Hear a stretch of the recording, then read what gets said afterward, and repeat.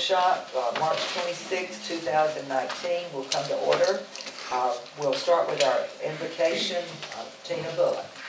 Uh, let's pray. Father, today, as we make decisions for our school, for our school district, please be with everyone here. Guide us in the best interest and your glory.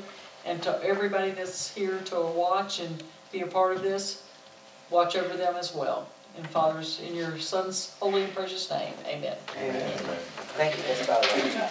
Now I will officially call Thank you and and good morning. Wait a minute, Oh. I've got a speech to read. I'm sorry. Welcome, citizens of Clay County. Wesley? I want to take this opportunity to thank you for taking the time out of your busy schedule to attend today's meetings. If you want to say anything, just raise your hand. Okay. Your participation is welcomed and appreciated. Okay. Now, not uh, first review draft agenda for regular board meeting on, uh, of April the 4th. Mr. Davis, you have the floor. Thank you, Chair, good morning to everyone. We'll jump right into it. Uh, We have two recognitions and awards, one from a check presentation from Clay County Education Foundation, then also the Player Center for Child Health at Wolfson Children's Hospital as well. We'll we'll do a presentation. We'll talk about our partnership. Uh, C1 is our minutes from the board workshop and special meeting from February 26th, and also the regular school board meeting from March the 7th. C2 is the legislative priorities for 2019 school year. Um, I have something to say about that. Yes, ma'am. Uh, legislative priorities, we need to set a date as a board as to when they will come to us. Normally, you know, we get them December, January. We should start talking about them. We should ask staff for the recommendations, bring it to us in November, December. The board then reviews and decides what the board wants as their priorities. And- And we didn't, you, you emailed it, nobody responded, but that's not an adoption, and we have to adopt them. And we need to adopt them long before, you know, when we meet with our local delegation, we need to have adopted them before that. So that's the deadline prior to that. Yes, ma'am, through the chair, do not disagree, I said this in September, so um, um, I'll continue to use that probably as a time frame for us to to sit down and for for each of you to interact with and, and help give for additional direction for us to finalize, but I agree. I guess my point is, it, it can't be emailed to us, it has to be brought as an action item to the agenda for us to then take formal action on. Um, What I would suggest, because uh, when Ms. Bolla and I went to Tallahassee last week, it would be nice if we could just remember to have this placed on the February meeting agendas in the future. That way, whether it's Clay Day or FSBA days in the legislature or whatever, we'll be prepared. Uh, We can just put it down But. I don't think that's early enough for the local delegation, when do they meet? You know, um, is it January? So it needs to be adopted before, Well, maybe before we should put it on the January agenda, the first Yeah. Thursday of January. We'll be- All right, I would take that for encourage us to go- January.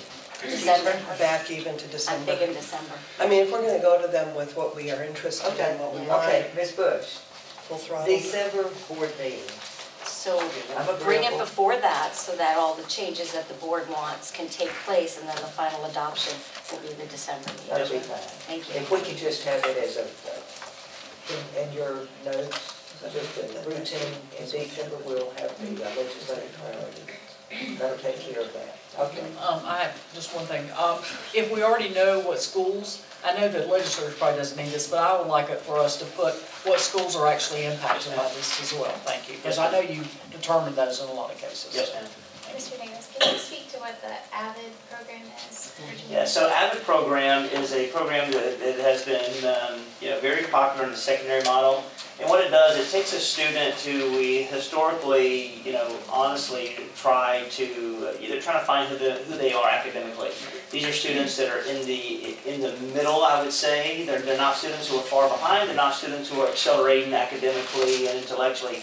These are students who are on the verge or on the bubble of moving towards an accelerated pace. So just helping them find ways to be organized, to their thought processes, how to be table coaches with each other, how to learn, and really start to have short-term and long-term goals. They take uh, college tours, just a lot of things that get them excited, so they're just not the middle-of-the-road kid, that we have a, a strategy to help them be successful. It could be broaden, uh, you know, the strategies could be school-wide, because there's a lot of organizational development for them to understand how to interact with curriculum, how to stay organized, how to be, uh, you know, con- consistently engaged in the learning process in our schools. What's that, about four point six million over the? On that? Um, no, it's, it's, it's- each site's around nineteen thousand dollars. But I was just adding the three numbers. Oh, yes, ma'am, some, It's some. about areas four it's- point six, so, and I'm sure you've talked with Senator Bradley and Representative Yes, ma'am. uh, Cummings and told them that that would satisfy our legislative priorities. Yes, yes, ma'am. They're working hard. Mr. Connor, anything else from AVID? I think you covered it great. Thank you, sir.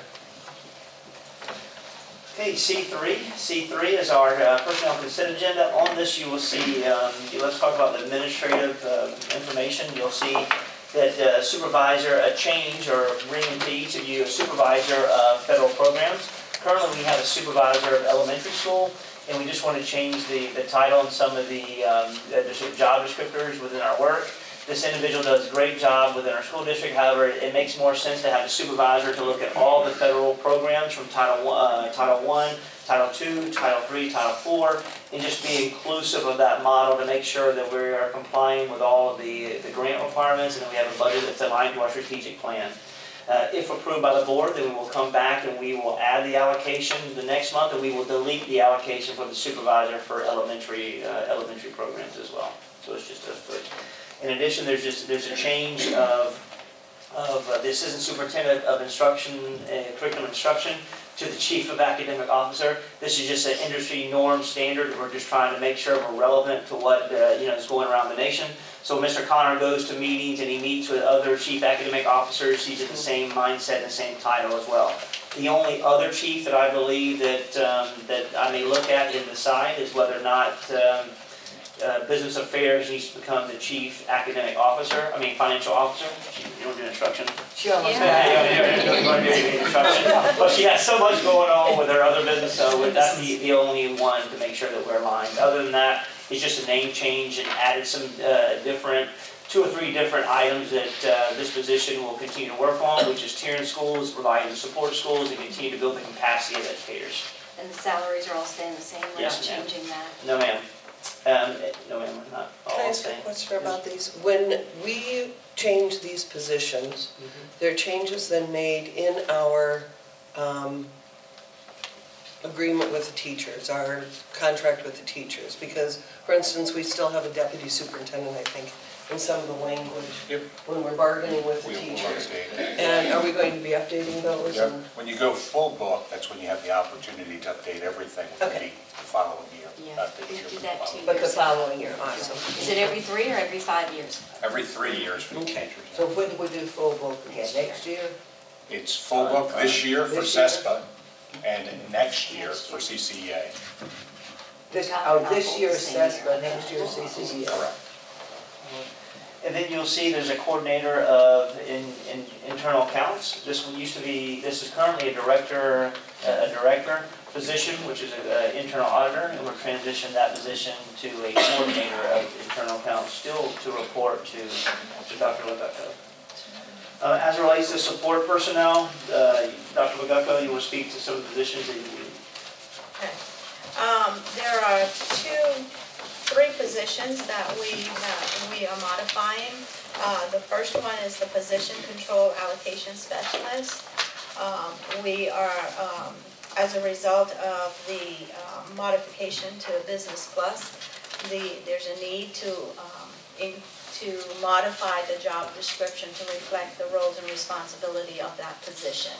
Therefore, I have um, added a revised job description, uh, which is C 3.8.14. Um, The other position is the insurance assistant.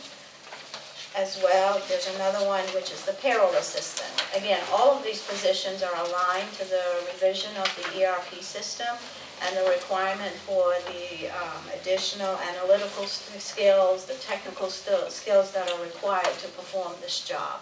This, yes, the roles and responsibility. As a result of that, I have modif- revised, re- looked at the job description and revised it to reflect the need for that, that role and responsibility. In addition, there's two additional positions that we're asking for the board to review this, this month, and this is in the, in the area of food services through operations. The first one is a lead kitchen, uh, cafeteria kitchen equipment technician, and then also a cafeteria kitchen equipment technician. These are where we, we're spending a lot of money of outsourcing materials and equipment, and if we can bring somebody internally, then we can really address the needs of, of, of our kitchens. And this will be paid for, for through federal funding. Mr. Hans, anything, anything you want to add? Yes, sir. The, it- it's just a matter of, we've got 43 kitchens going, running now. They're continuing to grow. We also have a number of culinary kitchens for the CTE programs. So the, the expertise is needed to maintain these things on a regular basis. We're continuing to grow, we're continuing to modify with new equipment. So I need to find that expertise out there that is peculiar to this equipment. Right now, the HVAC shop is running that program and it's, uh, competing priorities for them. So we're trying to maintain the air conditioning and the kitchens at the same time, it gets a little tough. It's definitely a need. Bruce doesn't see anything. You don't Here, pay. Ken's shaking his head over there. Get out of business of duct tape. As long as we don't get the buttons on the altar. That's all for, uh, for personnel consent. Well, what about the uh, graphic design job description that came? Is that in the personnel or is that somewhere else? No, ma'am, we took that job out right now. It's um, openly, there's definitely a need for us to have a graphic organizer to, you know, to, to come. Well, I agree. I just had some questions Oh, about yeah. the the format of this. It had no required, sure, um, that's why we the took it pay out. grade, be evaluated by, so I was just thinking Yes, that certainly. And do the chair, yes, because you're right, we're, we're, we pulled it because it needs to be cleaned up. And we will, if we can get it done in the next forty-eight hours, um, I will try to, to submit it to the board for approval through the chair. And, um, Will that be, when it does come, will that be a support position? yes, ma'am. And, and there'll be like, you know, required five years graphic design experience or All of that something will along that. Yes, ma'am. Then right now, it's for. I mean, And I'm just for- throwing a No, no, number no, out, so no, I don't know what it should be. Yes, ma'am. Okay, thank you. Mr. Davis, when can we expect to see um, appointments, instructional, administrative, support, all that Uh, it's coming in here. in this, Yes, ma'am. The administrative is as well? I that, okay. Oh, no, no, sorry, appointment for administrators. Uh, last year, Ju- we took it in June, we'll probably bring it in June again. Okay. C four is the proposed supplemental a- allocations. Supplements, we, we continue to talk about that. At, at this stage, there's no change in forecast for nineteen twenty. However, we will be building a, uh committee uh, to review all these elements with my staff along with CCEA to really look at this to see if there's, uh, you know, any direction for twenty and twenty-one. Carol, you must have something to say. A lot of white train. It's a lot. I, I, I I tried it last year. Yeah. I stopped it. It wasn't popular. It wasn't popular. Nobody. I'll try again, I'll keep trying. Were we able to do anything for the um, elementary athletic coaches for attracting? Um, as of right now, it has to be bargained, Okay. so, um, it, it could be potentially bargained for this year. Elementary So athletic after the field day, um, several of the uh, gym teachers at elementary level want to create a track team for the county for the, the summer and have like the north end of the county and the south end of the county compete against each other. And so they were, you know, asking to, to create this and wondering was there any little drip of extra supplemental money in there somewhere? A- And, and even just, um, they wanted some professional development. Yes, ma'am, I want some, some PD to, to go down to Tampa, Right. so she can potentially look at maybe sending uh, a handful of Right. uh, educators down to the conference, because usually it's across the nation. and It's a good time to send some physical educators to, uh, to in Florida, so that's information. There is, I mean, there is never any PD for Never. PE teachers, so this would be, And their That point would be was they get huge. the kids ready for this track meet, and a lot of them are nervous the very first day and at the track meet, and so they don't really perform maybe their best, and then they don't get to do it again for a whole year. So they'd like to keep these kids active throughout the whole year, competing, and then they go on to junior high and they're just, you know, more ready for it. So that's what the, the gym teachers would like to do, you know, the track bingo. C five is the reappointments of instructional support personnel. This was, as, as always, we will This will be extended to the 48-hour rule because we want to make sure we get every PSE, uh, continued contract, annual contract, and support position personnel that we can on this list. And Everyone that doesn't have any, any holds on them uh, related to certifications or trainings, they will be on this list for approval moving forward. in Admin will come in June, sorry.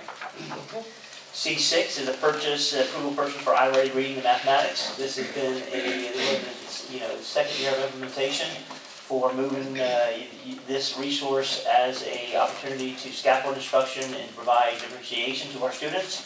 Once again, this is a, um, this will be used funding for SII funding, Title I funding, and reading categoricals.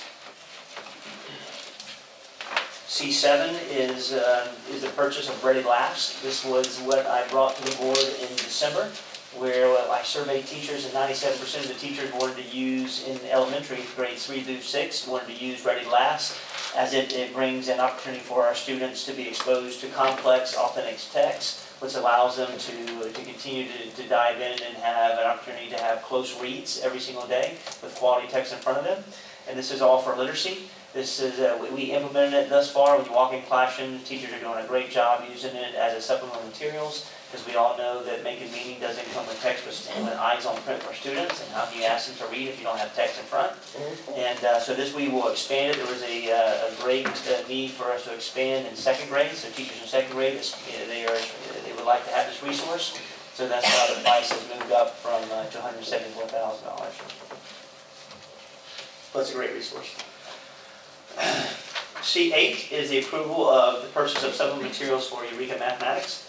We see that Eureka is being used in 83% of our uh, uh, classrooms right now as a supplemental material to go with Go Math. We see that it made significant gains in, uh, you know, last year's compared to those who implemented Go Math in isolation. So this is, um, you know, we will seek to add this as another supplemental material for the the 19-20 school year. C9 is the approval purchase of the Achieve 3000. Once again, another uh, supplemental material for reading. This is uh, impact students from grades uh, 4 to 12 and really focuses on their lexile and gives them an opportunity to, once again, differentiate instruction and scaffold the the instructional process for our learners. Um, Our teachers are doing a wonderful job merging this with their, the core content and not working as a skill builder in isolation and provides kids to high-level texts uh, enriched content and informational texts within their classrooms. I had a teacher mention to me that um, the books that are part of, I don't know if it was Achieve 3000 or iReady, she was hoping that we would be able to yeah. Everybody wants the toolbox, yeah. probably the toolbox already. I think she's maybe referring to the laughs, which is, is that was the C. I know it was iReady or Achieve 3000. Yeah. Yeah, so, so I already has, uh, the, the, the tool, in the toolkit that we, uh, is it a book we use and already lasts? So the print material is the toolbox. So the toolbox is like the digital format of it, but the kids really need to be able to interact with it. So that's the actual printed laughs material. Oh, but that's, a- that's part of the iReady or G. It is. Okay. C ten is. Quick question, yes, I'm sorry, is labs consumable? It It is. is. Yes. It is. Students like it, Well, that, I mean, shoot. you know? Sorry, go ahead. that's where they get you. But it's good for kids to interact. C ten is approval of the Clay County District Schools Instructional Materials Plan. As you know, there were some adjustments made uh, to, from the Department of Education related to our adoption process. So we want to make certain uh, through Mr. Connor's shop that we brought to the board a plan that shows the last time the adoption process, uh, last year, that the, the state adopted uh, year, along with the last that Clay County adopted, and then provide with tier one, tier two, and tier three curriculum, so you have a visual of what we're actually using in every one of our, our grade levels and our content areas, along with our projectability and when we will purchase uh, new materials based on the adjustments made by the Department of Education. We just want to make sure that we bring this and that uh, the board uh, sees it, interacts with it, and approves it. Clarification, if I may ask Mr. Conlon a Sure. question. Um, And I spoke with you briefly about this at one point. Yes, ma'am. The use of iReady in the junior highs for language arts, Mm-hmm. is that a required tool of the teachers that is used as part of their evaluation process?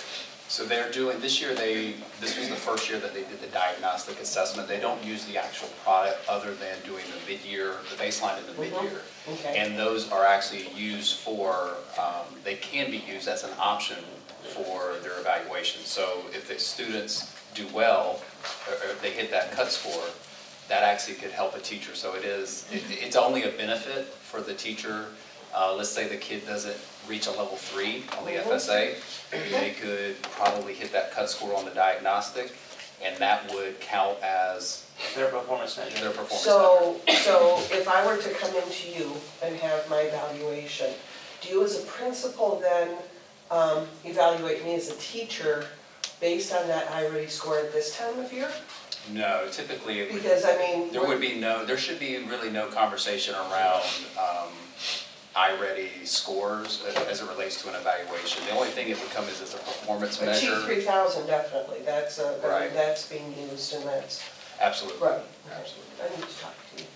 Yeah, so the, so the conversation should just be, you know, just a viewpoint of of how well their students are doing, just to look at their, Right. their pluses or, or or deltas and, and the problem solve, how you provide additional service to the students. The, the data that, that- that iReady in junior high school comes in the end is at the end of the year, they can use it as a two or three areas to determine whether or not their, their performance side meets the criteria. And that was the question because to, for us to be able to do the allocations and to re-up everyone's con- contract at this point, their evaluations had to have been done a couple of months ago. Yes. And so uh, if an iReady score was brought into that evaluation, that would create a question then. Yes. So that was the, only- that was what I was. Okay. C11, C11 is a uh, MOU with the Electrical Training Alliance of Jacksonville. This is, um, this is a uh, beautiful partnership with CTE has created for students at Oakleaf Senior High School. There's 12 to 18 students will be afforded the opportunity to attend a uh, pre-apprenticeship, and they'll be able to go into, um, they get hands-on experience for free of charge, and they'll be able to look at um, high, the skills needed to be successful, and then really start a pipeline and a cohort uh, directly linked to Miller Electric. That's phenomenal. CTE does a good job. They do a phenomenal job. Construction, career day, I mean, they, they are so involved with so many opportunities for students to go directly into the workforce. And it's like, you just want to be able to take the students and, you want to do this. C12 is approval of out-of-county travel. Here you have seventh grade students going to Tallahassee, eighth grade students going to Washington, you have Avid trips, you have National Honor Student Society, cheerleading, chorus, volleyball, so we got kids going everywhere, which is good experiences. C13 is the FLICA academic calendar, and uh, no adjustments, no major changes. This is uh, pretty much duplication of last year, which identifies planning days, work days, and holidays, and also graduation, graduation, I should say. C14 is the summer school uh, manual for proposed manual implementation policies, um, allocations, and uh, along with the calendar. Uh, We'll, once again, we'll offer continuing services from pre-K all the way to, um, to Algebra 1, and, and also high school as well. This will be extended school year as well for students who um, qualify for, for ESE purposes. And uh, start date will be June the 17th for teachers, and mostly will be June the 18th for students. Have we always done pre-K? The state does it through voucher. We just, kind of, Sure. we've expanded from, so originally, two years ago, we were doing five days of credit recovery. Then we expanded last year to 10 days, and now we're going to 12 days to give it some legitimacy to actually recovering. Uh, Five days isn't very Yeah, much. five days seems like magic, so, you. Are the cafeterias changing at all for the summer, for the students that we serve lunch, Um, breakfast and lunch to? as of right now, I haven't got a list of what will be, will, will be offered for the community. As soon as I get that from, couple uh, last summer, yes, recall. we did. And as So- soon, as soon as I get a list from, um, uh, Ms. Glover, we'll post that and I'll send it to the board. All right, C fifteen is charter school contract amendment, uh, originally in, with St. John's Classical Academy along with Clay Charter. There was a uh, requirement for them to submit their final budgets to, to us and, and final financial audits by September the thirtieth. However, it's due to the state by September eleventh, so we were refining that work and make sure that we refine their contract. They have to submit to the school district by September one. Both entities have been involved and engaged in this conversation, along with linked with Mr. Bickman. C sixteen is proclamation for uh, School Library Month in Clay County. This is where we celebrate and recognize the programs and services and resources that school libraries and media centers provide to our students every single day. Funny that we still call them libraries in this? That's what they call it. C seventeen is advertisement for the eighteen nineteen through twenty twenty-one Special Policies and Procedures Manual. This is the ESE Special Policies.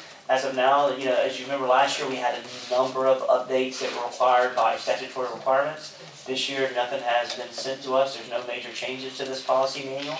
Um, we did have some restraint information.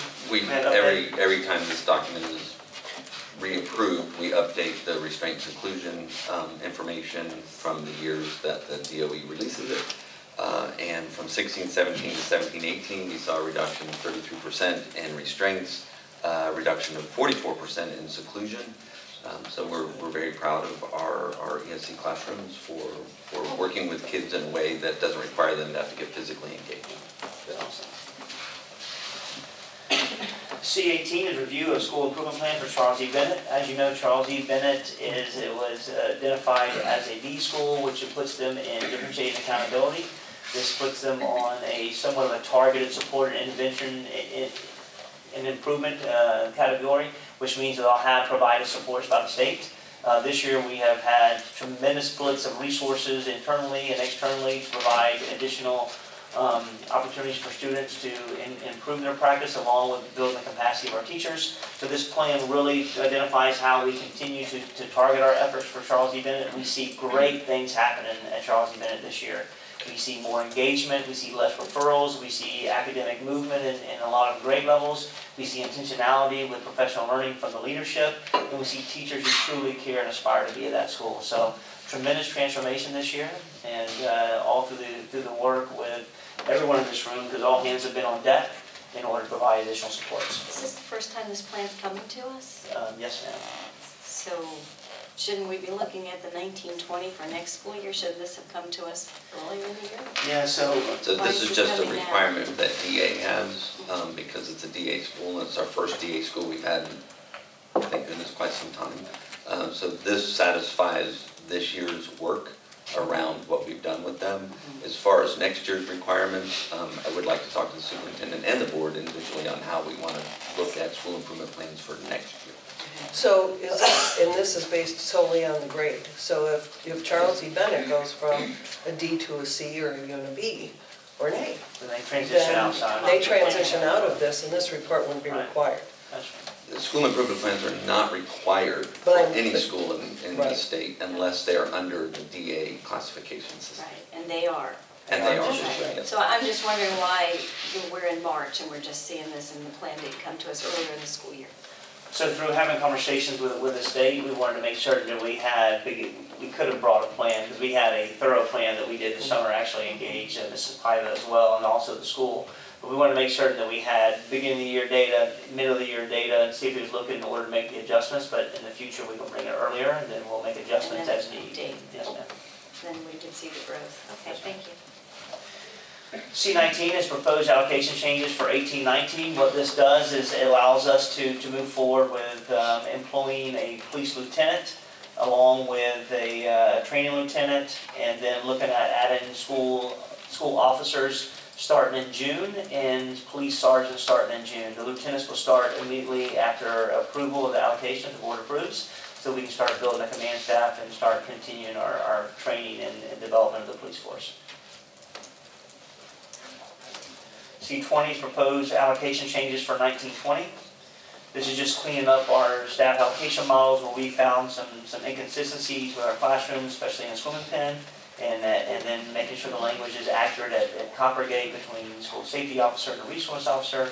And then making certain that we added at point two to, um, to PO related to school council that made it whole. C twenty-one is proposed district non-instructional administration and staff allocations. These are just allocations for each of the departments within every one of our divisions. And you'll see both in instructional from the district side of it embedded in here with that.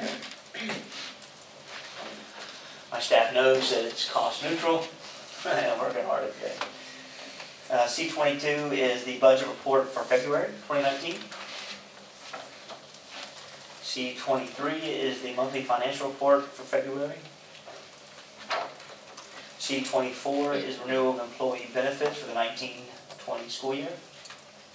As you can see, there's gonna be a significant increase at nineteen point five percent. And, and I can tell you, we're working every single day to, to, make- to, to, they work hard to make adjustments. We're trying to focus on wellness every day with, with our work, with our work in our community. What's happened with um, the Bailey Group setting up a um, supply center? I think we've had conversation, we've had multiple conversations about that. I don't know if we've taken the lead, I can find out and see where we are. But I know that. They were working also with the foundation. Yeah, I I do And we were at the, at the um, Chamber of Commerce event, and they had redone the entire um, supply center at that point, and had built, literally, they filled ba- new bags with new supplies in a completely different section um, of the threshold where we're handing out and stuff at that point, with the intent of building that. So where's, it- where is it located already, or is it going to be? No, we're trying to figure out what the best location is. I know we historically have had it at Orange Park Junior High School. Um, So we're, we're trying to find a place that maybe is is central. You know, right now, we have Ascot, to to be, potentially have a place in Green Cove, but I think that becomes less attractive for individuals to to come to. So looking at potentially on maybe, I'd love to have it at Middleburg or Ridgeview, which is, could be central, but we just gotta find locations in place. But I do know Michaela is, uh, is, is working with the Bailey Group to get it off the ground, at the same time be prepared for the summer launch as well.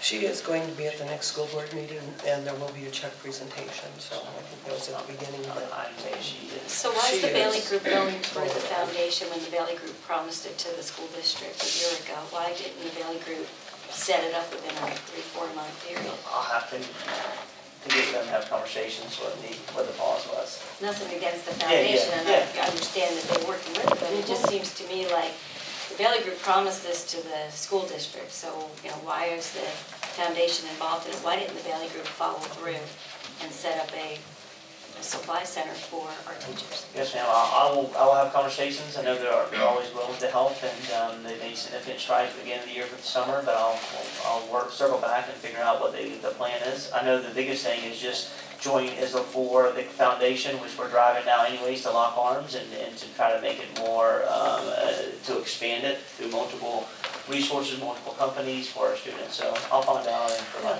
I'm information. not, and I'm trying to think back to when they did, when the Bailey Group stepped in with the- the At least chamber. a year.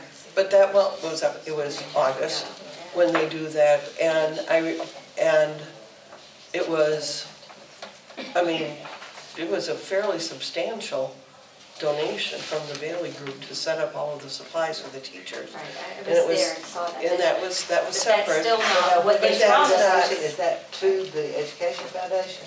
That was No, it was to the, the it year was for the event te, it was for the chamber um, handout at the beginning of the year, the supplies. And so they had set up a completely separate room full of supplies. I'm just, Do no, I? I'm clear now. Yeah, they did. Okay, so, So I can- so- and what happened in the process was the, the supply room that we had, the supply group, the the room at Orange Park Junior was being run by one teacher, basically, and like maybe some other volunteers. And it was stuff that was donated, so it was either new or old, and there was a lot of old. And it wasn't, I mean, as a teacher, when we first opened the supply depot here in Green Cove, I remember going through, and yeah, if you could get a handful of pencils, or if you could get a, a ream of paper, what is a ream of paper? It was like gold, and it was, and, but if you're, if you were doing arts and crafts in your classes though, too, you could also get construction paper, or ribbon, or whatever you might need for that particular holiday or whatever. But it's only open so often throughout the year as well. And I'm trying to think of when these teachers even had it open over the last year. I want to say maybe two Yeah, times. I would say If I- I mid-year can't and one remember. time. There was one time like So- mid-year. And so That's that part of was, the that was, and contract. I understand, and that, Yeah. but part of that contract was then Was their setting up, upheld. it was. It was upheld at the beginning because they set up that room at that No, point. see, I don't agree with Well, that. no, I'm sorry, Janice, let me finish. But then I, do- I understand where you're coming from, mm-hmm. saying, you're saying there needs to be an actual warehouse for students or for teachers to come in and get. But Right. I'm trying to think of I, and I'm trying to think of other conversation that ensued around that same time, and I can't recall if anything had been No, I- it's wonderful finalized that they that point. contributed to the teacher appreciation uh, event, and they did, they brought a lot of stuff, but that wasn't what they put in their contract that they were giving to the school district. They were setting up a supply center Right. for the school district for the entire year. And so I feel like we're a year into it and nothing's been done. So, through the chair, Ms. Kerekes, uh, Ms. Sheila, you want to speak to this? Um, I know that I've had several conversations with the Bailey Group regarding the teacher depot. The main thing that we're waiting for is to find a spot to centrally locate it. Once we do, then they're ready to get it all set up. Um, a lot of it will come from donations. So the, the biggest challenge is who's gonna staff it. Um, because the way it works in St. John's is they have someone internally that will do orders out to the schools because they go on electronically. We hadn't gotten to that point yet, so we did the big one and they fulfilled their agreement because they reached way over the goal of what we had set forth for the year. Um, so we're, do- we're working on it, it just takes time and we still have got to find a place to house it. So, so through the chair, I'll, I'll work diligently to find a location very soon. And then this is why Michaela is probably gonna be the lead on this, so she can help run it and staff it and be the one that, that um, helps distribute information. How big a place do you need? Yeah, I'd love to have a room that's, Probably like this, I Is don't a room it would be this big. Is a room this size? You gotta have shelves to be Yeah. able to put all your put stuff, stuff so on it's just and trying to then find, way to uh, you organize all know, of it, central place, it's hard, you know, pretty good schools size. have it, you know, Internal they're and using it, stuff, not you know, it, and it's trying to find a I place. mean, it- Yeah. but those we'll find teachers one. did really work at that portable was Ms. Connor, right we'll overwhelming. get place. Uh, And I encourage you to find, like you had mentioned, Mr. Davis, We got some extra porta, relocated. I encourage you to find a centrally located place like you talked about it. I agree with you, absolutely. All right, thank you. Yes, ma'am. All right, C twenty-six is deletion of items. So this is, we have ice machines, radios, anybody want a Crown Vic? What year is it? I think it's like a ninety-two, or ninety-five Crown Vic, along with us. What have we been doing with that? I mean, I- I- Johnson will sell We have it. some vehicles that are, I mean, really, really old in this condition, so I'm trying to get away from that. We should give it to Mr. Connor.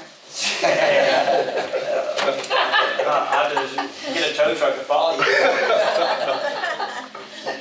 Come see some of these old Jeeps we're. I think the superintendent would look good in I'll drive it, I'm back. Uh, C twenty-seven is pre-qualification for contractors. You skipped one, I think, C twenty-five. Oh, What's that? The right ones. Oh, okay, sorry. That's a big Yeah. C twenty-five, seven hundred and fifty dollars. Oh, but look at the dates on That's some of those, why are the dates so low? It's not probably. It Oh, looks like sorry. Montclair's got an issue there, huh? Yeah, for 2012, Did they 2014, just not bring it to you, 2011. Susan? Can we, oh, Through the chair, Okay, very good. Um, We are, try- and superintendent, through the chair. Um, we are, we're now trying to clean up these accounts, Um, I shouldn't say now. This was prior to the ince- inception of um, check, the check policy. So therefore, we're still going back and cleaning up some of the old accounts. I will tell you, a lot of these folks no longer, the kids are no longer in our school system. So therefore, these checks are really null and void, so we're trying to get them off our books Right. Got it. at this point. You know, any people so you're let us doing that at, uh, all the different I didn't. schools? We're trying to get them as close as we can to a reasonable To year so that, you know, there's not a whole lot of um, debt such as this is- to sit on our books. Yeah, I think we can probably say that that one's not gonna be collected. Sorry. Thank you, ma'am, sorry. Thank you. That's just done. All right, that's good. So uh, C twenty-six, as I said, is deletion of certain items. Uh, C twenty-seven is pre-qualifications of truck contractors. C twenty-eight is a, uh, to grant access with uh, the Clay County Utility Authority to Lindbergh High School for a community water project. It's Temporary access. So we're To- we're to- transferring that to permanent? Where are we, It's just gonna be temporary. Just convert Oh, sorry, temporary permanent. grant, Permanent. easement to permanent grant of easement. Mr. Foster, What are we doing It here? was a temporary grant of easement from last year when they were doing a relocating the force main. Um, But when we went, when CCUA went and looked at the work that FDOT had done, it actually had put the force main through the temporary, partially to the corner. So now they're coming back and they're asking, can we convert the temporary easement over to a permanent easement, a grant easement? Since Because now they have to be able to access that pipe. Is this in any place that matters to us? No, ma'am, it's as you're going through the transportation center, as you're heading out to 21, Right. it's on the right-hand side up against our property line. Oh, Thanks, sir. C twenty-nine is also to give temporary access, it's a temporary access to Tynes Elementary School for a project within the community as well. C thirty is a, it's a holding spot for us to look at Wilkinson Junior High School parking lot replacement. We award the contract in the next forty-eight hours. Two P M today. Today. C thirty-one is for the parking lot replacement as well for uh, Lakeside Junior High School. C thirty-two is a replacement of fire alarm at Patterson Elementary School. It has been awarded to T and M Electric. C thirty-three is at elementary, Lebanon Elementary School fire alarm replacement as well. This is also being awarded to T and M Electric. C thirty-four is OPE, Orange Park Elementary School fire alarm replacement, and then awarded to TM Electric as well. Did we take care of the lighting at Orange Park Junior High? Was that an issue a few months back? Parking lot lighting? We replaced that. We did. last year. D one is, uh, discussion is, uh, special action. Mr. Brosky will reach out. And D two is the public hearing for approval of the policy four point two nine with visits in the classroom, in schools. Okay. Questions from the audience?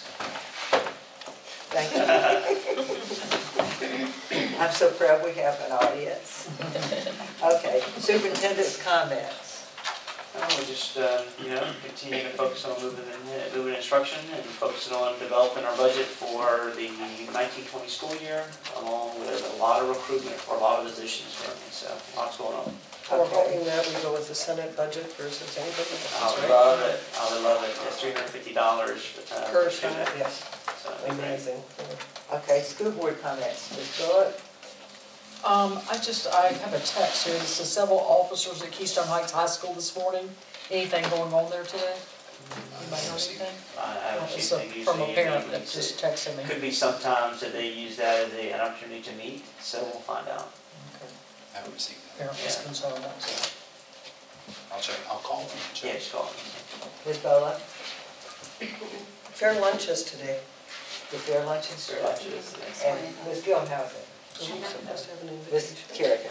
Okay, the fair luncheon is today. This is the first year that I'm not gonna be able to go because at Rotary, we are recognizing the Clay County Teacher of the Year, and he and his principal will be there to receive accolades and plaques and Lunch. gifts and lunch.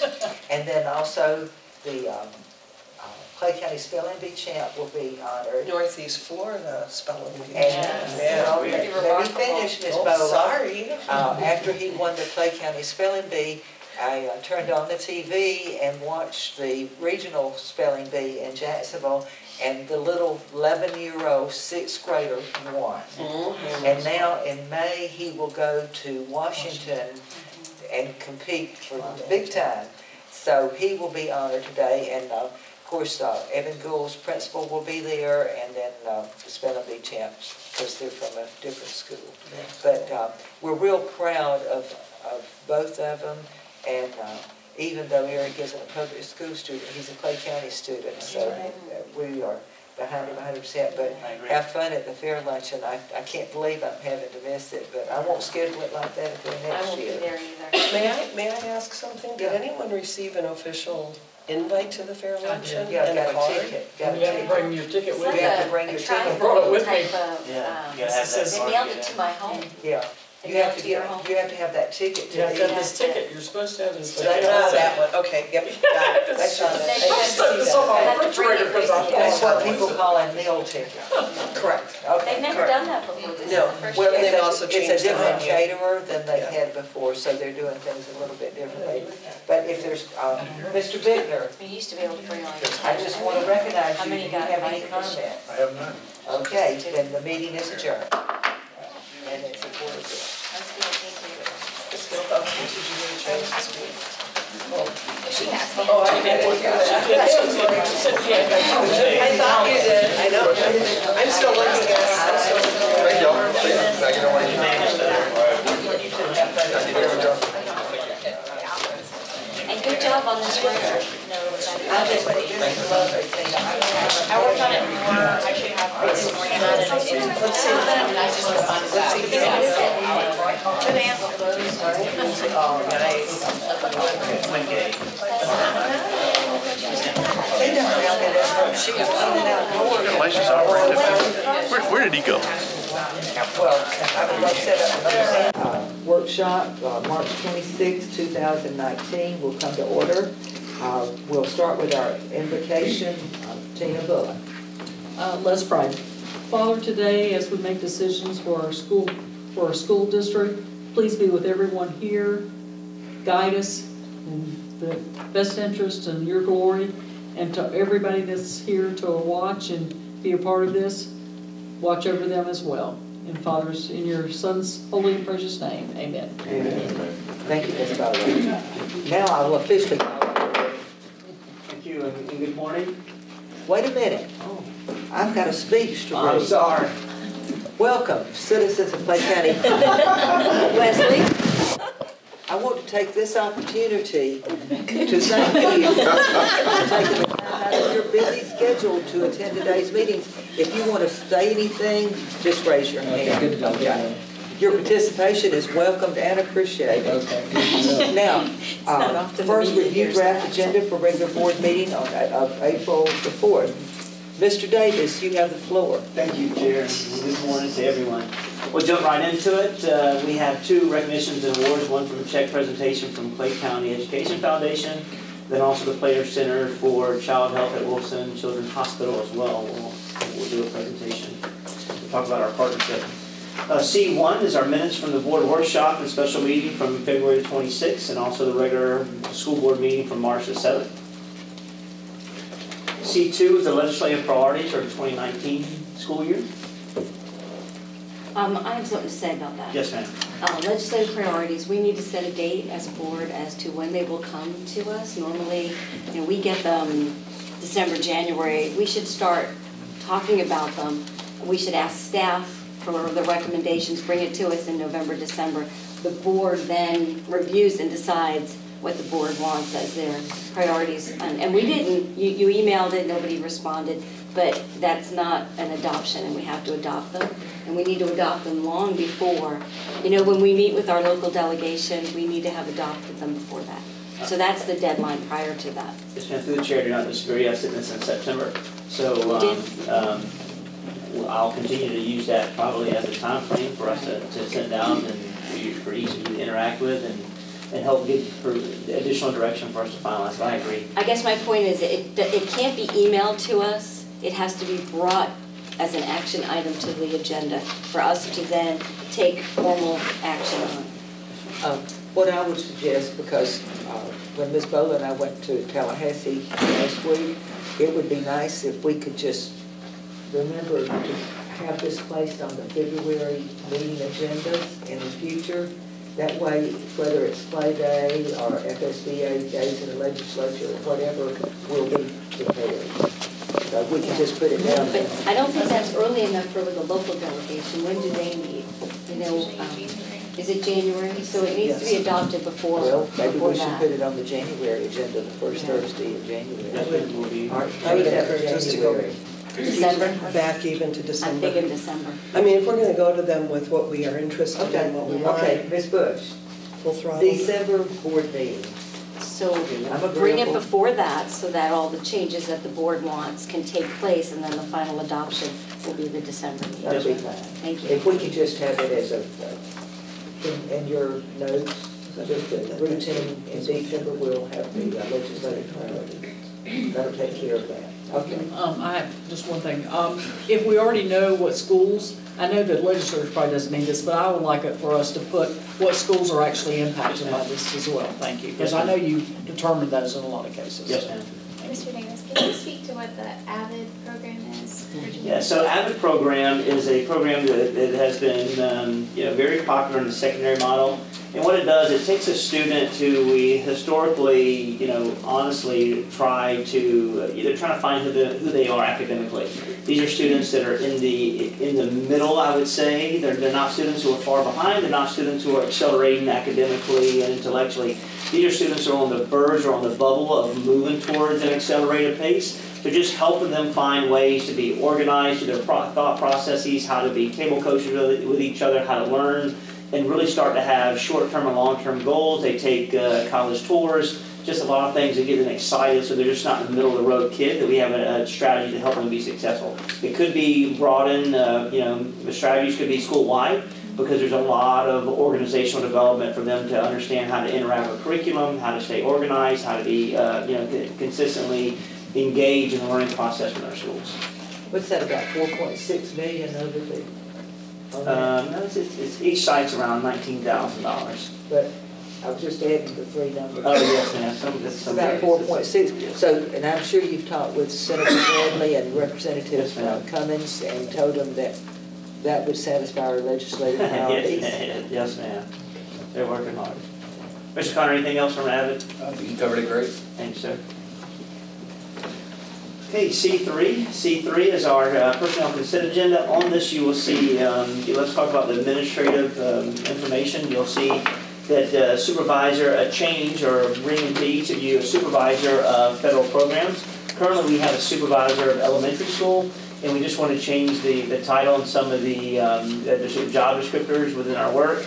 This individual does a great job within our school district, however, it makes more sense to have a supervisor to look at all the federal programs from Title uh, Title I, Title II, Title III, Title IV, and just be inclusive of that model to make sure that we are complying with all of the, the grant requirements and that we have a budget that's aligned to our strategic plan.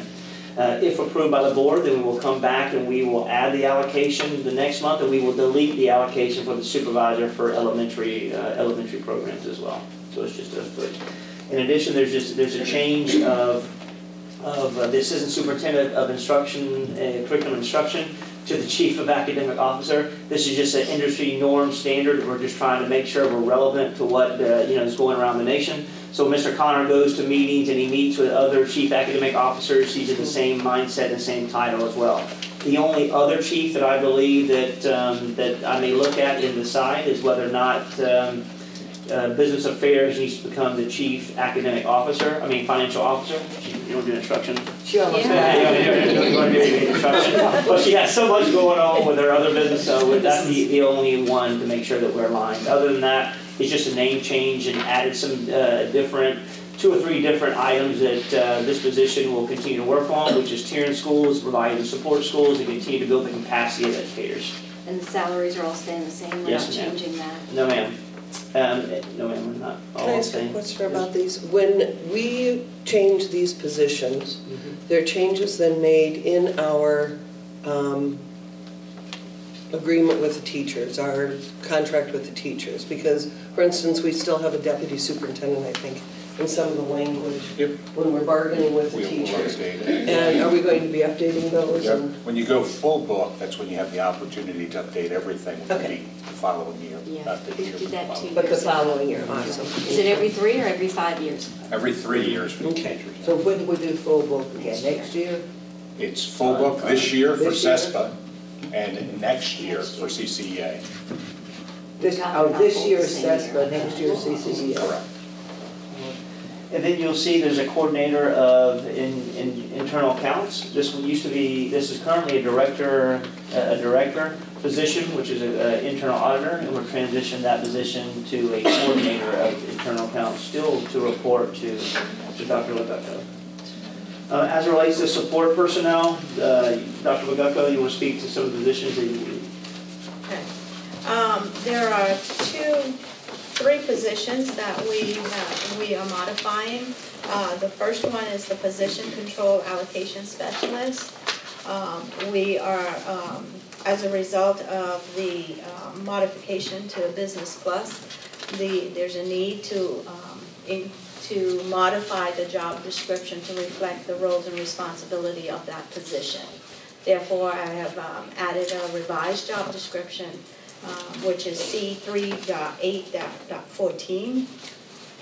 Um, The other position is the insurance assistant. As well, there's another one, which is the payroll assistant. Again, all of these positions are aligned to the revision of the ERP system and the requirement for the um, additional analytical skills, the technical skills that are required to perform this job. This, yes, the roles and responsibility. As a result of that, I have revised, re- looked at the job description and revised it to reflect the need for that, that role and responsibility. In addition, there's two additional positions that we're asking for the board to review this, this month, and this is in the, in the area of food services through operations. The first one is a lead kitchen, uh, cafeteria kitchen equipment technician, and then also a cafeteria kitchen equipment technician. These are where we, we're spending a lot of money of outsourcing materials and equipment, and if we can bring somebody internally, then we can really address the needs of, of, of our kitchens. And this will be paid for, for through federal funding. Mr. Hans, anything? Anything you want to add? Yes, sir, the, it- it's just a matter of, we've got forty-three kitchens going, running now, they're continuing to grow. We also have a number of culinary kitchens for the CTE programs, so the, the expertise is needed to maintain these things on a regular basis. We're continuing to grow, we're continuing to modify with new equipment, so I need to find that expertise out there that is peculiar to this equipment. Right now, the HVAC shop is running that program, and it's, uh, competing priorities for them. So we're trying to maintain the air conditioning and the kitchens at the same time, it gets a little tough. It's definitely a need. So he doesn't see. Don't Hear pay. about it. Shaking his head over there. Get out of business and duct tape. As long as we don't get the bugs out of That's all for uh, the personnel consent. Well, what about the uh, graphic design job description that came? Is that in the personnel or is that somewhere else? No, ma'am, we took that job out right now. It's um, openly, there's definitely a need for us to have a graphic organizer to, you know, to, to come Well. I agree. I just had some it's, questions oh, about yeah. the, the format of this. It had no required, sure, um, that's why we the took pay it out. grade be evaluated by, so I was just thinking Yes, that ma'am. certainly could be. And and do the chair, yes, ma'am, because you're right, we're, we're, we pulled it because it needs to be cleaned up. And we will, if we can get it done in the next forty-eight hours, um, I will try to, to submit it to the board for approval through the chair. And, um, Will that be, when it does come, will that be a support position? yes, ma'am. And, and there'll be like, you know, required five years graphic design experience or All of that something be- along that? Yes, ma'am. Because then right now it's for, I mean. And I'm just for- throwing a No, no, number no, out, so all right. I don't know what it should be. Yes, ma'am. Okay, thank you. Mr. Davis, when can we expect to see um, appointments, instructional, administrative, support, all that Uh, it's coming in here. in this, Yes, ma'am. the administrative is as well? I missed that, okay. Oh, oh, no, sorry, appointment for administrators. Uh, last year, Ju- we took it in June. We'll probably bring it in June again. Okay. C4 is the proposed supplemental allocations. Supplements, we, we continue to talk about that. At, at this stage, there's no change in forecast for 1920. However, we will be building a, uh committee uh, to review all these elements with my staff along with CCEA to really look at this to see if there's, um, you know, any direction for 20 and 21. Carol, you must have something to say. I- A runaway train. It's a lot. I, I, I I tried it last year. Yeah. I stopped it. It's It wasn't popular. Nobody. I'll try again, I'll keep trying. Were we able to do anything for the um, elementary um, athletic coaches for attracting? Um, as of right now, it has to be bargained, Okay. so, um, it, it could be potentially bargained for this year. Elementary athletic So after the field day, um, several of the uh, gym teachers at elementary level want to create a track team for the county for the, the summer and have like the north end of the county and the south end of the county compete against each other. And so they were you know, asking to, to create this and wondering was there any little drip of extra supplemental money in there somewhere? A- And, and even just, um, they wanted some professional development. Yes, ma'am, want some, some PD to, to go down to Tampa, Right. so she can potentially looking at maybe sending uh, a handful of Right. uh, educators down to the conference, because usually it's across the nation. And It's a good time to send some physical educators to, uh, to, in Florida, so that's information. There is, I mean, there is never any PD for the Never. PE teacher, so this would be, And their point would be was, they get the kids ready for this track meet, and a lot of them were nervous the very first day, and at the track meet, and so they don't really perform maybe their best, and then they don't get to do it again for a whole year. So they'd like to keep these kids active throughout the whole year, competing, and then they go on to junior high and they're just, you know, more ready for it. So that's what the, the gym teachers would like to do, you know, track, bingo, C five is the reappointments of instructional support personnel. This was, as, as always, we will, this will be extended to the forty-eight hour rule because we want to make sure we get every PSE, uh, continued contract, annual contract, and support position personnel that we can on this list. Uh, everyone that doesn't have any, any holds on them uh, related to certifications or trainings, they will be on this list for approval moving forward.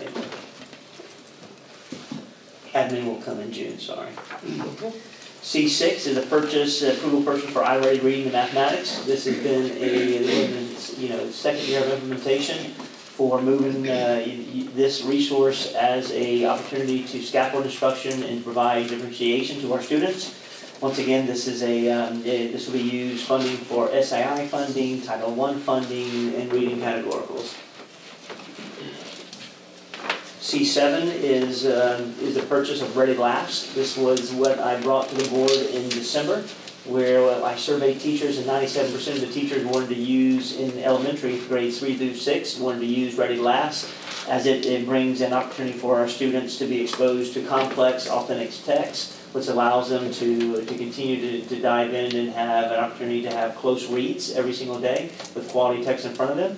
And this is all for literacy. This is, uh, we- implemented it thus far, when you walk in classrooms, teachers are doing a great job using it as a supplemental materials, because we all know that making meaning doesn't come with text, with, with eyes on print for students, and how can you ask them to read if you don't have text in front? And uh, so this, we will expand it, there was a, uh, a great uh, need for us to expand in second grade, so teachers in second grade, they are, they would like to have this resource, so that's why the price has moved up from, uh, to hundred and seventy-four thousand dollars. But it's a great resource. C eight is the approval of the purchase of supplemental materials for Eureka Mathematics. We see that Eureka is being used in eighty-three percent of our uh, uh, classrooms right now as a supplemental material to go with Go Math. We see that it made significant gains in, uh, you know, last year's compared to those who implemented Go Math in isolation. So this is, um, you know, we will seek to add this as another supplemental material for the, the nineteen twenty school year. C nine is the approval purchase of the Achieve three thousand. Once again, another uh, supplemental material for reading. This is, uh, impact students from grades uh, four to twelve and really focuses on their lexile and gives them an opportunity to, once again, differentiate instruction and scaffold the the instructional process for our learners. Um, our teachers are doing a wonderful job merging this with their, the core content and not working as a skill builder in isolation and provides kids to high-level text uh, with, with en- enriched content and informational texts within their classrooms. I had a teacher mention to me that um, the books that are part of, I don't know if it was Achieve 3000 or iReady, she was hoping that we would be able to Yeah, get those everybody in wants a toolbox, Yeah. probably the toolbox already. I think she's re- maybe referring to the LAFS, which is, Is it lab? that was the Well, C. I know it was iReady or Achieve 3000, it wasn't Yeah. Yeah, so, so I already has, uh, the, the, the tool, in the toolkit that we, uh, is it a book we use and already lasts? So the print material is the toolbox. So the toolbox is like the digital format of it, but the kids really need to be able to interact with it. So that's the actual printed LAFS material. Oh, but that's, a- that's part of the iReady or Achieve. It is. Okay. C ten is. Quick go ahead, question, yes, sorry, ma'am. is wax consumable? It It is, is. yes. It is. It is. Students like it, Well, that, I mean, shoot. Sorry, go ahead. that's where they get you. But it's good for kids to interact. C ten is approval of the Clay County District Schools instructional materials plan. As you know, there were some adjustments made uh, to, from the Department of Education related to our adoption process. So we want to make certain uh, through Mr. Connor's shop that we brought to the board a plan that shows the last time the adoption process, uh, last year, that the, the state adopted uh, year, along with the last that Clay County adopted, and then provide with tier one, tier two, and tier three curriculum, so you have a visual of what we're actually using in every one of our, our grade levels and our content areas, along with our projectability of when we will purchase uh, new materials based on the adjustments made by the Department of Education. We just want to make sure that we bring this and that uh, the board uh, sees it, interacts with it, and approves it. Clarification, if I may ask Mr. Conlon a Sure. question. Um, And I spoke with you briefly about this at one point. Yes, ma'am. The use of iReady in the junior highs for language arts, is that a required tool of the teachers that is used as part of their evaluation process? So they're doing, this year they, this was the first year that they did the diagnostic assessment. They don't use the actual product other than doing the mid-year, the baseline and the Mhm. mid-year. Okay. And those are actually used for, um, they can be used as an option for their evaluation. So if the students do well, or they hit that cut score, that actually could help a teacher. So it is, it- it's only a benefit for the teacher. Uh, Let's say the kid doesn't reach a level three on the FSA, they could probably hit that cut score on the diagnostic, and that would count as Their performance measure. their performance. So, so if I were to come into you and have my evaluation, do you as a principal then um, evaluate me as a teacher based on that iReady score at this time of year? No, typically it would. Because, I mean. There would be no, there should be really no conversation around um, iReady scores as it relates to an evaluation. The only thing it would come is as a performance But Achieve measure. three thousand, definitely, that's, uh, I mean, that's being used and that's, Absolutely. right. Absolutely. I need to talk to you. Yeah, so the, so the conversation should just be, you know, just a viewpoint of of how well their students are doing, just to look at their, Right. their pluses of our, our deltas and, and the problem solve, how you provide additional service to the students. The, the data that, that that iReady in junior high school comes in the end is at the end of the year, they can use it as a two or three areas to determine whether or not their, their performance side meets the criteria. And that was the question because to, for us to be able to do the allocations and to re-up everyone's con- Yes. contract at this point, their evaluations had to have been done a couple of months ago. Yes, ma'am. And so uh, if an iReady score was brought into that evaluation, that would create a question then. Yes. So that was the only, that was what I was pursuing. Okay, C eleven, C eleven is a uh, MOU with the Electrical Training Alliance of Jacksonville. This is, um, this is a uh, beautiful partnership with CTE has created for our students at Oakleaf Senior High School. There's twelve to eighteen students will be afforded the opportunity to attend a uh, pre-apprenticeship. And they'll be able to go into, um, they get hands-on experience for free of charge and they'll be able to look at, um, high, the skills needed to be successful and then really start a pipeline and a cohort, uh, directly linked to Miller Electric. That's phenomenal. CTE E does a good job. They do a things phenomenal over job there. there. They are. Construction, career day, I mean, they, they are so involved with so many opportunities for students to go directly into the workforce. And it's like, you just want to be able to take the students and, you want to do this. C twelve is approval of out-of-county travel. Here you have seventh grade students going to Tallahassee, eighth grade students going to Washington, you have AVID trips, you have National Honor Student Society, cheerleading, chorus, volleyball, so we got kids going everywhere, which is good experiences. C thirteen is the FLICA academic calendar, and uh, no adjustments, no major changes. This is uh, pretty much duplication of last year, which identifies planning days, work days, and holidays, and also graduation, graduations, I should say. C fourteen is the summer school uh, manual for proposed manual implementation policies, um, allocations, and uh, along with the calendar. Uh, We'll, once again, we'll offer continuum of services from pre-K all the way to, um, to Algebra one, and, and also high school as well. This will be extended school year as well for students who um, qualify for, for ESE purposes. And uh, start date will be June the seventeenth for teachers, and mostly will be June the eighteenth for students. Have we always done pre-K? The state does it through voucher. We just kind of, Sure. we've expanded from, so originally, two years ago, we were doing five days of credit recovery.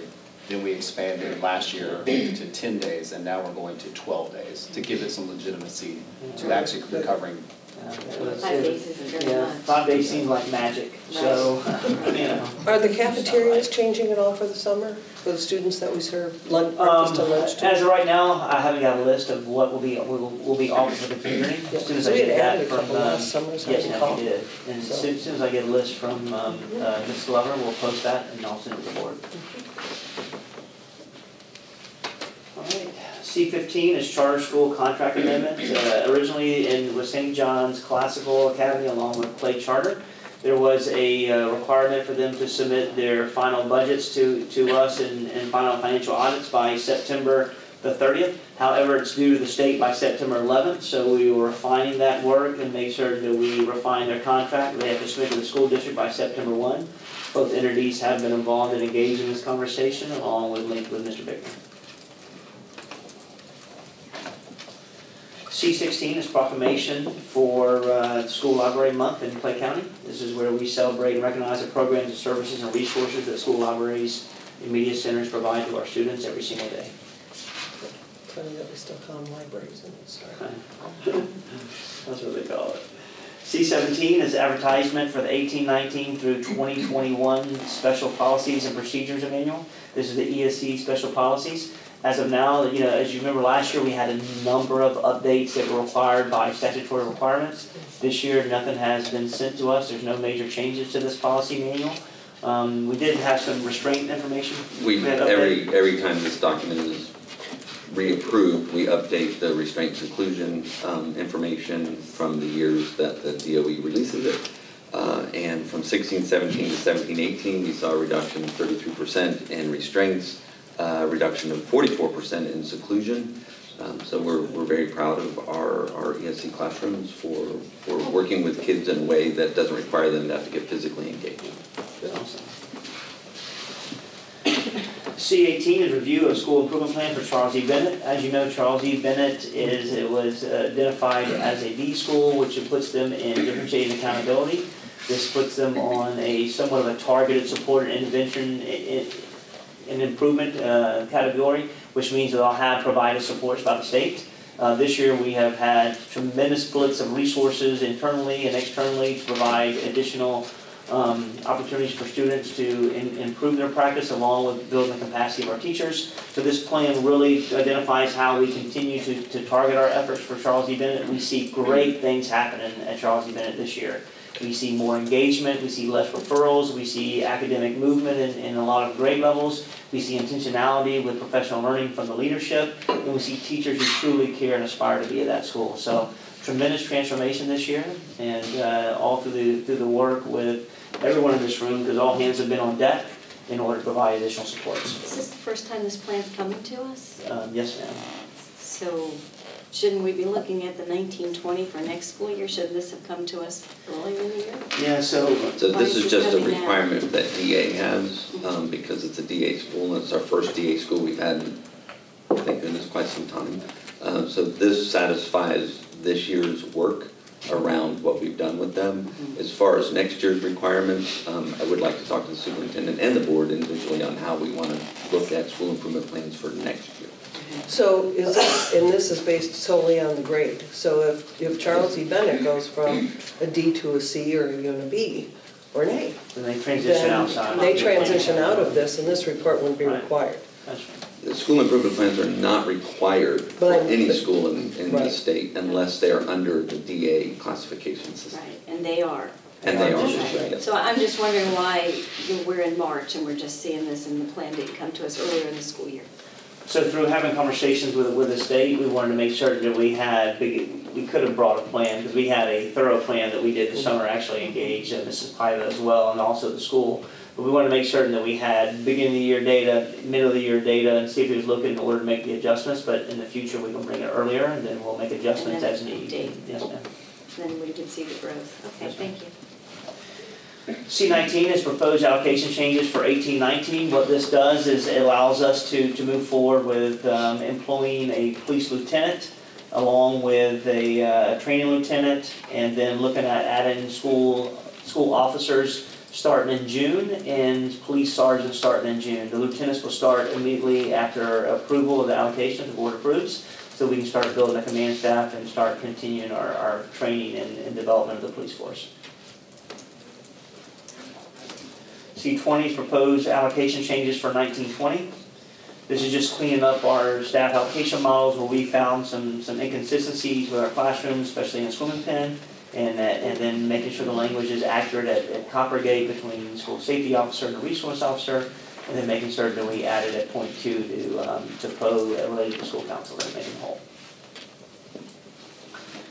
C twenty-one is proposed district non-instructional administration uh, staff allocations. These are just allocations for each of the departments within every one of our divisions.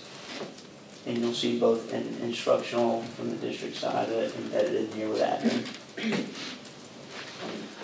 My staff knows that it's cost neutral, and I'm working hard every day. Uh, C twenty-two is the budget report for February twenty nineteen. C twenty-three is the monthly financial report for February. C twenty-four is renewal of employee benefits for the nineteen twenty school year. As you can see, there's gonna be a significant increase at nineteen point five percent. And, and I can tell you, we're working every single day to, to, make- to, to, they work hard to make adjustments. We're trying to focus on wellness every day with, with our work, with our work in our community. What's happened with um, the Bailey Group setting up a um, supply center? I think we've had conversation, we've had multiple conversations about that. I don't know if we've taking the lead. I can find out and see where we are. But I know They were working also with the foundation. yeah, I I do And know we were at that. the, at the um, Chamber of Commerce event, and they had redone the entire um, supply center at that point, and had built, literally, they filled ba- new bags with new supplies in a completely different section um, of the Thrasher Horn were handing out and stuff at that point, Right. with the intent of building that. So where's it, where, is it located already, or is it going to be? No, we're trying to figure out what the best location is. I know we historically have had it at Orange Park Junior High School. Right, Um. So we're, we're trying to find a place that maybe is is central. You know, right now, we have Ascot to, to be, potentially have a place in Green Cove, but I think that becomes less attractive for individuals to, to come to. So looking at potentially on maybe, I'd love to have it at Middleburg or Ridgeview, which is, could be central, but we just gotta find locations in place. But I do know Michaela is, uh, is, is, is working with the Bailey Group to get it off the ground, at the same time be prepared for the summer launch as well. She is going to be at the next school board meeting, and there will be a check presentation, so I think that was at the beginning, but I'd say she is. So why is She the Bailey is. Group going through the foundation when the Bailey Group promised it to the school district a year ago? Why didn't the Bailey Group set it up within a three, four month period? I'll have to, to get them to have conversations what the, what the pause was. Nothing against the Yeah, yeah, foundation, and I understand that they're working with it, but it just mm-hmm. seems to me like the Bailey Group promised this to the school district, so, you know, why is the foundation involved in it? Why didn't the Bailey Group follow through and set up a, a supply center for our teachers? Yes, ma'am, I I will, I will have conversations, I know they're, they're always willing to help, and, um, they made significant strides at the beginning of the year for the summer, but I'll, I'll work, circle back and figure out what they, the plan is. I know the biggest thing is just join ISO for the foundation, which we're driving now anyways to lock arms, and, and to try to make it more, um, uh, to expand it through multiple resources, multiple companies for our students, so I'll find out and provide yeah, I'm not, and I'm trying to think back to when they did, when the Bailey Group stepped in with the, the At least chamber. a year.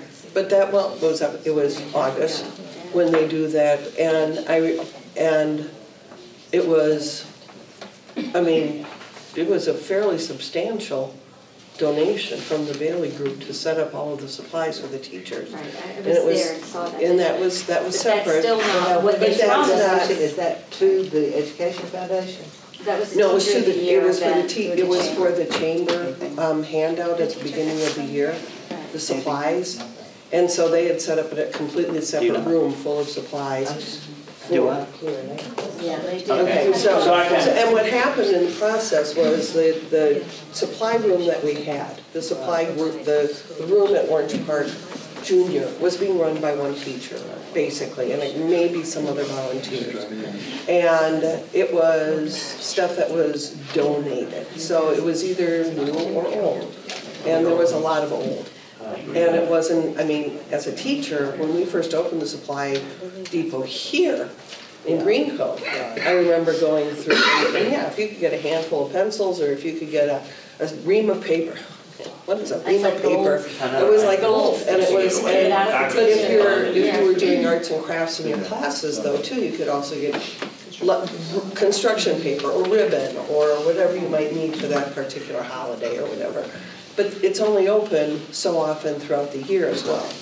And I'm trying to think of when these teachers even had it open over the last year. I want to say maybe two Yeah, times. I would say If I- beginning I the year can't and one remember. time. There was one time like mid-year.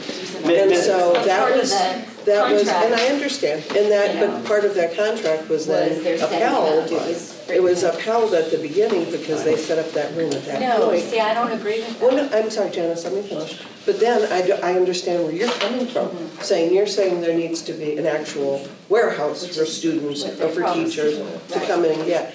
But Right. I'm trying to think of, I- and I'm trying to think of other conversation that ensued around that same time, and I can't recall if anything had been No, I, I- it's wonderful that at they that point. contributed to the teacher appreciation uh, event, and they did, they brought a lot of stuff. But that wasn't what they put in their contract that they were giving to the school district.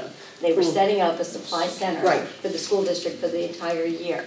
And so I feel like we're a year into it and nothing's been done. So, through the chair, Ms. Kerekes, uh, Ms. Sheila, you want to speak to this? Um, I know that I've had several conversations with the Bailey Group regarding the teacher depot. The main thing that we're waiting for is to find a spot to centrally locate it. Once we do, then they're ready to get it all set up. Um, a lot of it will come from donations. So the, the biggest challenge is who's gonna staff it. Um, because the way it works in St. John's is they have someone internally that will do orders out to the schools because they go on electronically. We hadn't gotten to that point yet, so we did the big one and they fulfilled their agreement because they reached way over the goal of what we had set forward for the year. Um, so we're, we're working on it, it just takes time and we still have got to find a place to house it. So, so through the chair, I'll, I'll work diligently to find a location very soon. And then this is why Michaela is probably gonna be the lead on this, so she can help run it and staff it and be the one that, that um, helps distribute it. How big a place do you need? Yeah, I'd love to have a room that's, Probably like, this. Is I a don't know if room would be this big. Is a room this size? You gotta have shelves to be Yeah. able to yeah, put all your put stuff, stuff so it's on just and trying to then find, wait, uh, you organize all know, a of it. central place, it's hard, you know, Pretty good size. have it, you know, Internal whether and using it or external, you know, internal, find. I mean, it- Yeah. what We'll- those we'll find teachers one. did, those work at that portable is Just trying right to overwhelming. get a place. Uh, And I encourage you to find, like you had mentioned, Mr. Davis, We got some extra porta, relocated. I encourage you to find a centrally located place like you with talked about it. I agree with you, absolutely. All right, thank you. Yes, ma'am.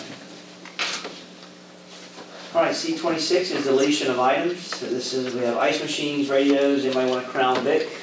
What year is it? I think it's like a ninety-two, or ninety-five Crown Vic, along with us. What have we been doing with that? I mean, I. Responsible We seller. have some vehicles that are, I mean, really, really old in this organization, so I'm trying to get away from that. We should give it to Mr. Connor. Uh, I just get a tow truck to follow you. Come see some of these old Jeeps we're driving. I think the superintendent would look good in I there. drive it, doesn't matter. Uh, C twenty-seven is pre-qualification for contractors. You skipped one, I think, C twenty-five. Oh, what's that? Is it? Oh, okay, sorry. Yeah. C twenty-five, seven hundred and fifty dollars.